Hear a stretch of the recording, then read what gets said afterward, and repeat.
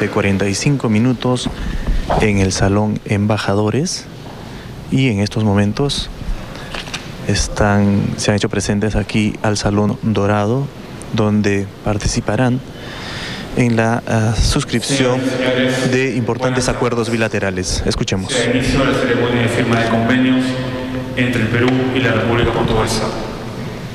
Palacio de Gobierno tiene el honor de dar la bienvenida a la delegación de altísimo nivel que acompaña al señor presidente de la República Portuguesa, señor Aníbal Cavazo Silva. A continuación, firma el acuerdo de cooperación interinstitucional entre el Consejo Nacional de Ciencia, Tecnología e Innovación Tecnológica de la República del Perú, CONCITEC, y la Fundación para la Ciencia y Tecnología de Portugal. Invitamos a la presidenta de CONCITEC, Gisela Orjeda, y al ministro de Asuntos Extranjeros de la República Portuguesa, señor Paulo Portas, a que firmen el convenio. Este convenio tiene como objetivo desarrollar y ampliar la cooperación para la gestión del conocimiento, la realización de proyectos en ciencia y tecnología, propiciar la especialización de profesionales calificados y la promoción de alianzas estratégicas entre empresas e instituciones académicas, entre otros.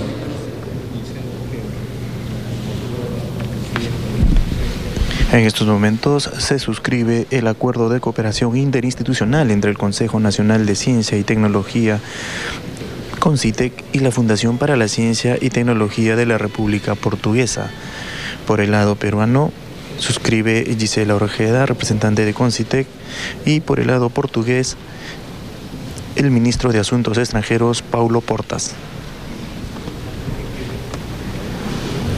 Esta ceremonia se lleva a cabo en el Salón Dorado de Palacio de Gobierno tras la reunión privada que sostuvieron ambos mandatarios durante 45 minutos donde han tocado distintos temas, sobre todo el tema del fomento de las inversiones tanto en Perú y Portugal como una manera de eh, fortalecer las economías de ambos países.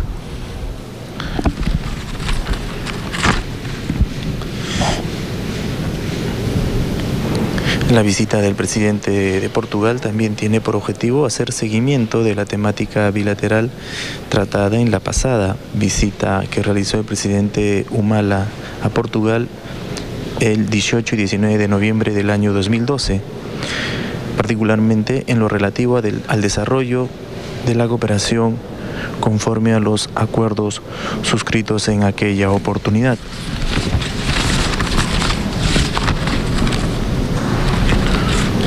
Se procede al intercambio de los convenios.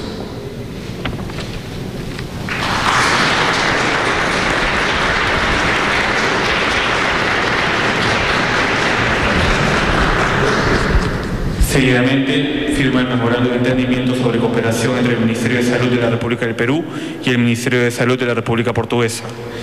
Invitamos a la ministra de Salud del Perú, Midori de Avich, y al ministro de Asuntos Extranjeros de la República Portuguesa, señor Paulo Portas, a que firmen el mencionado convenio. Este convenio establece un marco básico de cooperación con miras al fortalecimiento de las capacidades técnicas en materia de salud en las siguientes áreas. Rehabilitación, vigilancia epidemiológica y gestión en sistemas de salud, entre otros.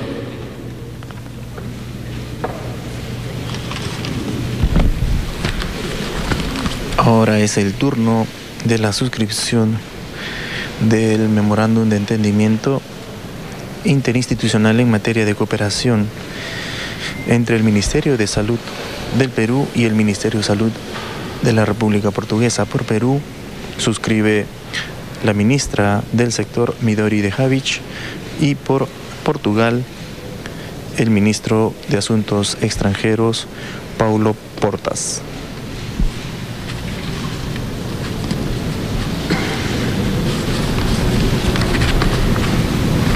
Hay que resaltar que eh, las relaciones bilaterales entre Perú y Portugal atraviesan uno de sus, de sus mejores momentos, ya que desde el año 2011 ha habido continuas reuniones bilaterales eh, protagonizadas tanto por los eh, mandatarios de ambos países como por los ministros de Relaciones Exteriores en visitas realizadas a ambos países.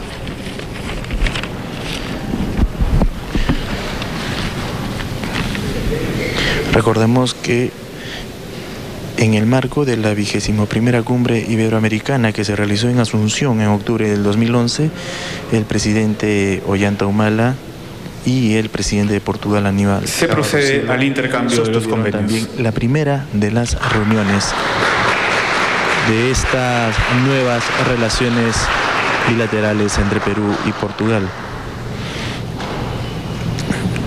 Seguidamente firma el programa de cooperación entre el Gobierno de la República de Perú y el Gobierno de la República Portuguesa en materia de lengua y educación. Invitamos al ministro de Relaciones Exteriores de Perú, señor Rafael Roncayolo, y al ministro de Asuntos Exteriores de la República Portuguesa, señor Paulo Portas, a que firmen el mencionado convenio.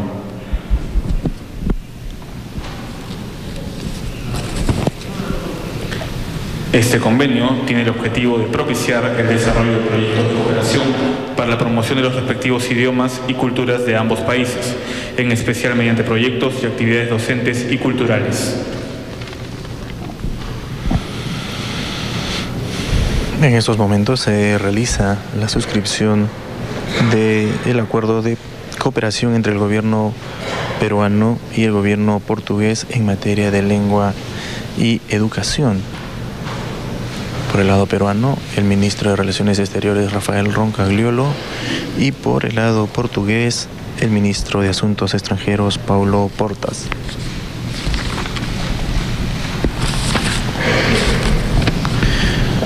Como señalábamos, las relaciones entre Perú y Portugal están fortalecidas desde esa primera reunión que sostuvo el presidente Humala con Aníbal Cavazo Silva en octubre del 2011. Posteriormente, el ministro de Relaciones Exteriores Rafael Roncagliolo visitó Portugal en enero del 2012 y programaron una serie de visitas a ambos países, tanto por el ministro de Portugal, el primer ministro de Portugal, Pedro Pasos Coelho, quien llegó al Perú en junio del año pasado, y también el, la visita del presidente Humala en noviembre del 2012. En estas reuniones se han profundizado las relaciones tanto en materia de inversiones, el presidente Humala en aquella oportunidad durante su visita a Portugal señaló que Perú puede ser la puerta de entrada a Latinoamérica de las inversiones portuguesas que estaban atravesando en esos momentos esta crisis que afecta a Europa.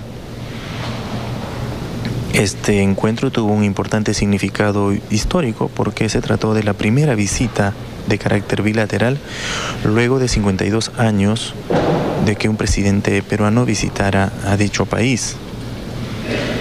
Antes del presidente Humala, en 1960, el presidente Manuel Prado sostuvo reunión con su homólogo portugués. Desde entonces hasta la fecha, recién se han retomado estos encuentros bilaterales que tienen la finalidad de eh, no solamente fortalecer los lazos de amistad y cooperación, sino también impulsar